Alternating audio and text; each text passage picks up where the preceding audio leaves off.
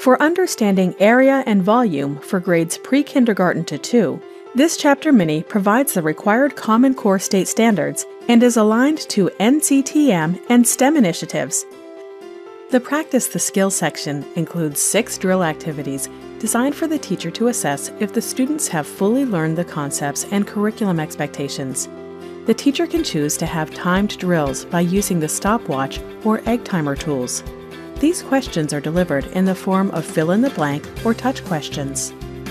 Here are the related minis in the lesson plan measurement for grades pre kindergarten to 2. Visit ccpinteractive.com for extended versions of our products and to watch more demo videos.